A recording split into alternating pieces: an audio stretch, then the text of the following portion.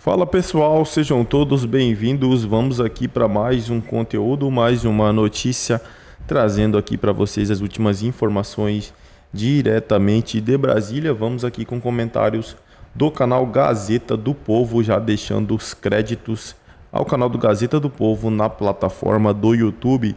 Se não é inscrito no canal, se inscreva, deixe seu like e seu comentário, que isso faz uma enorme diferença para a gente aqui dentro da plataforma o YouTube entende que o conteúdo é relevante e entrega para mais pessoas. Então, o seu like, o seu comentário faz uma enorme diferença para a gente aqui dentro da plataforma. E lembre-se de comentar aí de qual cidade vocês estão nos assistindo, que é para a gente saber de onde está vindo a nossa audiência. Agora, sem mais enrolação, bora para o conteúdo. Muito específico, Supremo Tribunal Federal muitas coisas envolvendo a Suprema Corte e, é claro, os ministros também. Tem Dias Toffoli, tem Gilmar Mendes, tem Flávio Dino, ex-ministro da Justiça. É interessante que eles querem tanto calar, censurar as nossas vozes e também os nossos perfis nas redes sociais, mas eles fomentam a briga. Isso porque Jorge Serrão, Flávio Dino, aquele mesmo do 8 de janeiro, normalizou acusações como chamar alguém de fascista, nazista. Para ele faz parte do debate. O que não faz parte do debate, meu amigo, é você nas redes sociais criticar o presidente dele, viu, Serrão? Boa tarde. Ah, ele não pode não. Saudações, meus amigos, meus amados haters, meu povo da Gazeta do Povo. Flávio Dino se superou no voto que ele deu ontem no julgamento de um caso de acusação de calúnia, injúria difamação que foi avaliado pelo Supremo Tribunal Federal. Na visão de Flávio Dino, vamos lembrar, ele vem lá do Partido Comunista, depois ele foi para o Partido Socialista. Na visão dele, na visão de mundo dele, a palavra nazista, fascista, tá, comunista também, se você incluir, não possui caráter de ofensa pessoal ao ponto de caracterizar calúnia, injúria ou difamação ele alegou que é uma corrente política estruturada na sociedade, no planeta, e basta examinar até as eleições da Alemanha, onde tem gente da corrente nazista, do Partido Nazista concorrendo hoje, na tese de Dino, então isso não deveria implicar em criminalização aqui no Brasil. Ele, no voto dele, alegou que em 18 anos foi acusado de tudo, que possa existir de negativo no debate político, mas que ele sempre soube diferenciar o que era o debate político do debate ideológico ou da agressão verbal. Caramba, hein? Que coisa interessante. Mais interessante que essa tese do Dino é que a ministra Carmen Lúcia, que agora é presidente do Tribunal Superior Eleitoral, não acredita nesse tipo de argumento. Ela pensa exatamente o contrário do que Flávio Dino. Ela discordou do Dino no voto, disse que o termo nazista, fascista, e podia incluir, incluir aí também, né, Carmen Lúcia, comunista, são termos pesados para a imagem pública de um político que é atacado, principalmente, segundo ela, se a ofensa acontecer no período eleitoral. Então, vejam, é um malabarismo para tentar é, consertar situações. É, você vem do mundo político. Então, quem vem do mundo político é normal esse tipo de bate-boca e xingamento. Quem está ali no mundo jurídico justificando que tem que haver uma repressão durante a eleição, já diz que não, isso é calúnia e jura difamação. Mas nesse caso, a calúnia foi dirigida contra um deputado de direita. Se ela tivesse sido dirigida para o cara da esquerda, talvez, talvez o entendimento fosse outro. Então, veja, que está acontecendo hoje no Brasil é que a gente não está tendo a coisa julgada com o devido equilíbrio.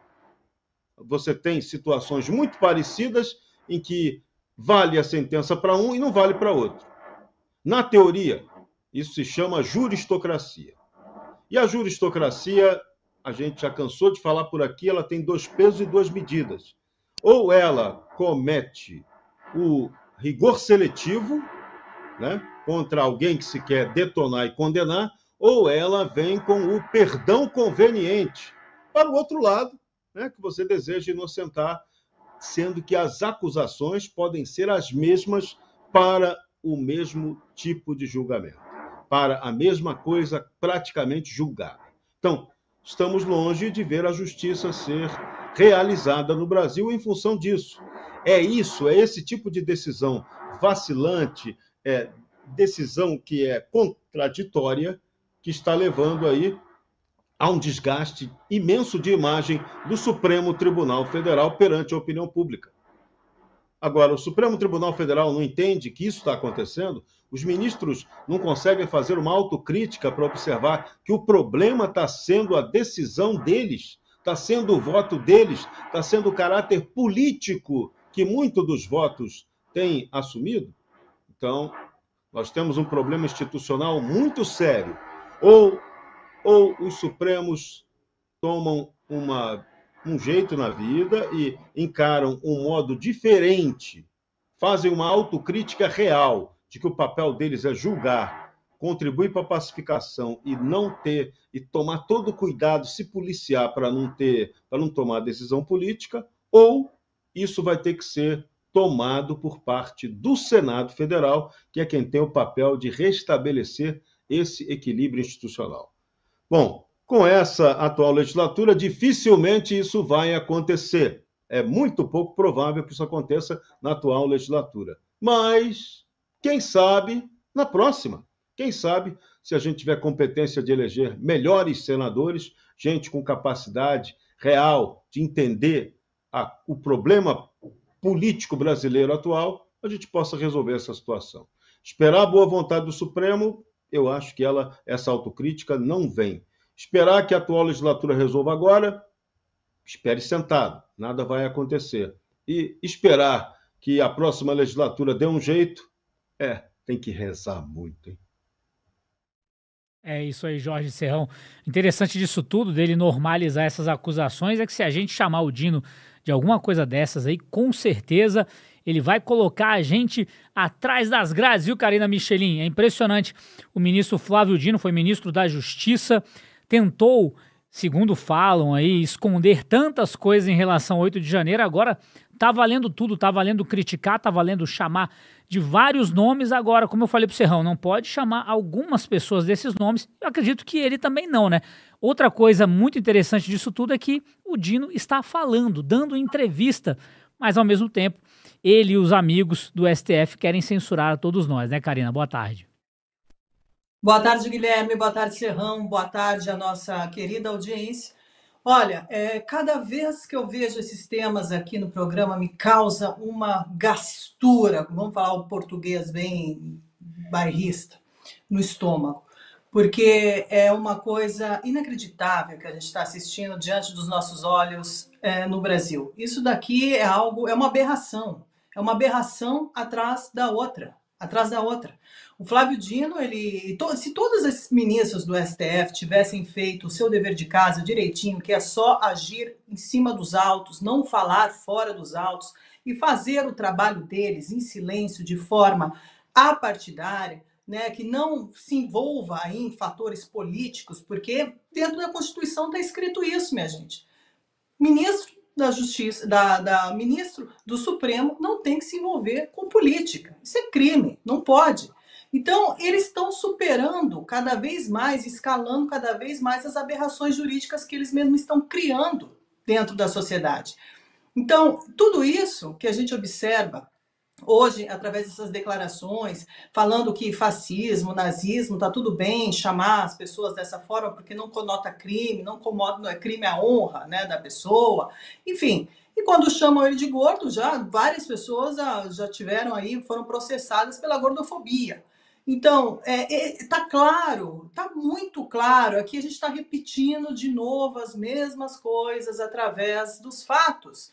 Eles continuam fazendo política em cima de, um, de uma instituição que deveria ser respeitada, que deveria ser sagrada aí para nossa, para nosso, para o nosso país. Mas não é. Ela perdeu completamente a credibilidade através dessas figuras que continuam rasgando a Constituição e usando dessa, desses subterfúgios aí para fazer perseguições políticas. Para quem estuda o comunismo, estudou o comunismo um pouquinho, a gente sabe muito bem como funciona a cabeça dos comunistas. A gente sabe muito bem como eles agem. Eles desumanizam as pessoas, criam rótulos e, ao mesmo tempo, removem esses rótulos quando é cômodo a eles. Eles fomentam divisões, fomentam atritos, fomentam o caos, para depois eles virem e dizerem: olha, tá vendo? Aqui está tudo sob controle, essas pessoas têm que ser punidas porque foi até lá ao 8 de janeiro e teve quebra-quebra, mas aquelas pessoas que foram à Câmara Legislativa ali do Paraná, que quebraram tudo, que se comportaram como verdadeiros vândalos extremistas radicais, não têm o mesmo processo legal. Ninguém, ninguém foi preso, ninguém foi identificado, estão todos calados diante de uma aberração que aconteceu também na Câmara Legislativa do Paraná.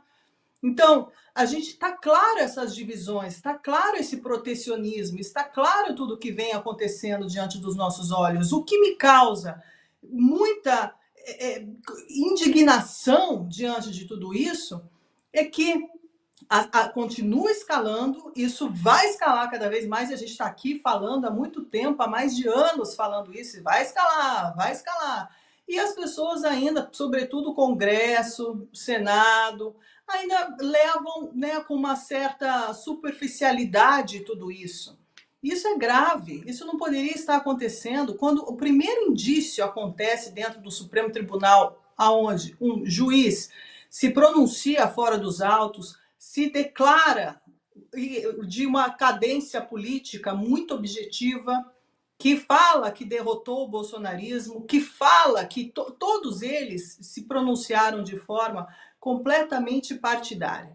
Agora, isso já deveria ter sido resolvido se fosse em qualquer outro país que tivesse realmente uma Câmara, um Congresso ativo e que bloqueasse isso de forma imediata.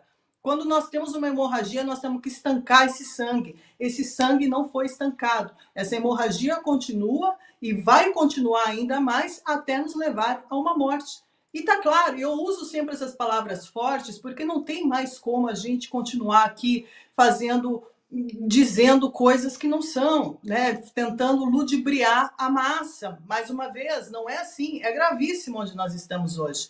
Se vai ter resolução a curto prazo, não acredito que tenha resolução a curto prazo, mas eu acredito que se a população começa a enxergar de fato que uma ditadura foi instalada, está instalada, está atuando de forma muito precisa dentro desse país, as pessoas comecem a entender que elas estão em perigo. E aqui não é só quem é bolsonarista, ou quem é de direita, ou quem é conservador. Não todos, cedo ou tarde, serão engolidos por esses que ficam aí falando que não, fascismo não é crime, nazismo não é crime, não conota criminalidade, crime de honra, nada disso. Comunismo também não, tá tudo certo você ter essas, essas ideologias, esses viés ideológicos, que isso desde quando o mundo, o mundo é tem, né? Temos isso daí, mas isso foi combatido. O nazismo foi combatido. Aqui, a, a, tudo que aconteceu através da nossa história foi combatido e continuamos ainda nessa luta para tentar combater cada vez mais esse mal que insiste em avançar. Então, não deixem que a, não baixem a guarda, não deixem que isso escale ainda mais. Nós já estamos em um ponto muito perigoso, muito perigoso. Realmente a sociedade brasileira corre perigo. Todos corremos perigo. Mas para isso, nós precisamos é isso aí, pessoal. A verdade é que eles cuidam de tudo menos das suas próprias obrigações. No caso, é, os Supremos Ministros estão envolvidos com tudo. É, rede social, eles estão. É, se pede alguma coisa para o Senado, eles estão lá comentando. Mas agora, julgar, fazer o seu trabalho, fazer a sua a sua o seu trabalho, né? Fazer o seu trabalho ali dentro de Brasília, eles não fazem. Então, assim, cuidam de tudo menos do que é mais importante. A gente tem o exemplo ali do, do o exemplo do Sebastião Coelho, que teve que ir com um processo para cima dos ministros porque não queriam é, não davam resposta sobre julgamento de seus réus. Ele foi até no Revista Oeste e falou: Estou tendo que todo dia perguntando para o ministro, perguntando para os ministros, mas não obtém respostas. Por quê? Porque os ministros estão cuidando de outra coisa, eles estão em rede social, eles estão em evento, vencemos o bolsonarismo, quem não se lembra disso? Né? Menos cuidando do que importa. Então, julgamentos estão é, ficando para trás, é, estão se metendo em coisas do Senado, em coisas da Câmara e menos ali nos fazendo o seu papel, que é julgar, fazer o seu trabalho ali no Supremo. Então podemos ver que hoje é, virou uma bagunça ali na Constituição em Brasília que não está nem aí. Eu, eu me meto aqui, eu me meto ali, eu me meto aqui, não estou nem aí. Presidentes do Senado, presidente, presidente da Câmara, nunca estão lá para falar nada. É isso aí, pessoal. Agradeço a vocês pela companhia. Se não é inscrito no canal, se inscreva. Deixe seu like e seu comentário, que isso faz uma enorme diferença. Desde já agradeço. Valeu!